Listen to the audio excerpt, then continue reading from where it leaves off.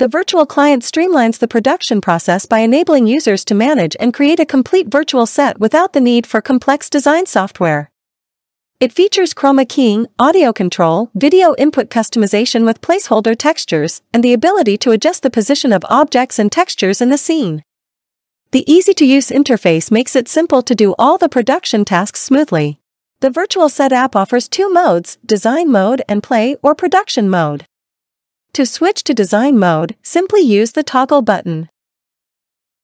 In the design mode, users can perform all the pre-production tasks such as loading and unloading templates using chroma key and making simple changes to objects, textures, and camera transformations. In the design mode, users can create real-time camera shots known as camera presets and oscillations. To better understand the design mode, let's work on a virtual set. Let's unload this virtual set template and load a new one.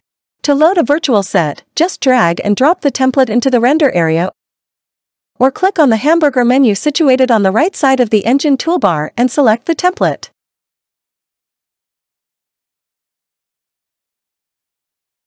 As you can see, the scene has been successfully loaded and contains multiple objects. In the design mode, you can manipulate any object or texture in the scene, including transformations such as adjusting its position, size, and other attributes. Let's attempt to move this table. To do so, select it from the Object selection box. Then, using the SRT panel, you can modify its position, orientation, and size, as well as the texture or camera.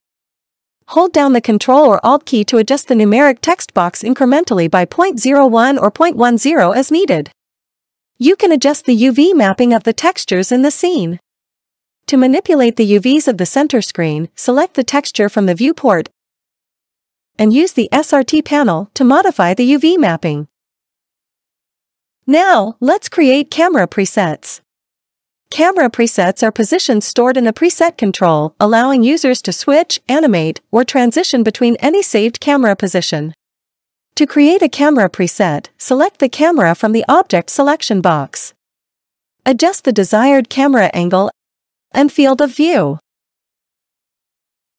And then double-click on the desired preset slot to store it in the list of 24 camera presets. Let's now set up the chroma settings and prepare for production. The Chroma Keyer tab is in the same area as the template pool. Users can perform pre- and post-color corrections to achieve the best chroma key quality.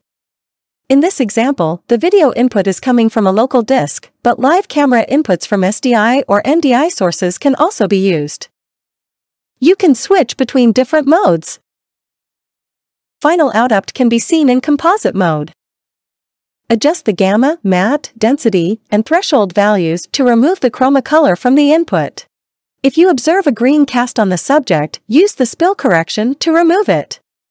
You can also make pre- and post-chroma color adjustments. Once you have the desired result, save the chroma values as a preset for future use. With our camera presets ready and chroma settings done, along with the objects and textures set, let's save the scene and move on to production mode. In production mode, there are two windows, Preview and Program. Preview is for reviewing content or the next item in the rundown. While the Program view displays what's on air. The placeholder section has eight placeholders, and the camera presets created in the design mode can be found in the camera presets section. In the Wipe tab, you'll find a variety of Luma wipes at your disposal. The placeholder dock allows the user to update and change inputs in the virtual video wall and control inputs like a playlist. Here, you have the option to create diverse media playlists with a wide range of content. The placeholder slots display live thumbnails of the item, including a video timeline if the selected item is a video. To use them in the preview window, just click on the placeholder. If you want to put it into the program with a transition, click on Luma Wipe, then, pick the type of wipe you want. Adjust the blur and duration value. Then press the Take button. This will make it appear with the chosen wipe you picked from the wipe panel. You can also smoothly cut or animate between camera presets. Click on the required preset to set it in the preview window. Set the duration, select Animate and click on the Take button.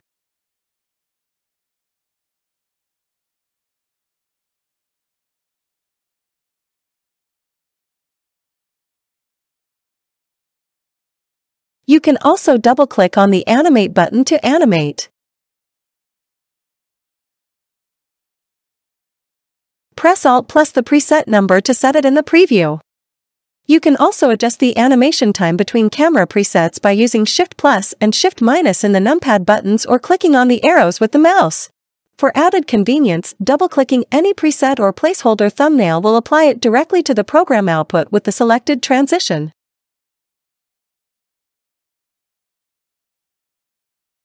For a smoother experience, consider resizing and rearranging the windows in the Engine tab to better suit your needs.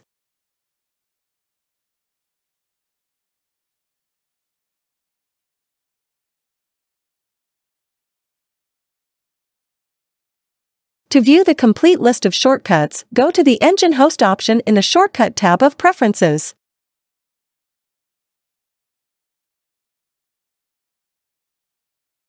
Let's explore the ways we can use augmented reality and overlay graphics together in the virtual set. Bringing augmented reality into the virtual environment happens effortlessly and with exceptional precision. From the playlist, the user can load the template. Templates form tab options, you can effortlessly and dynamically resize and reposition AR objects, with the changes being instantly reflected in real-time updates.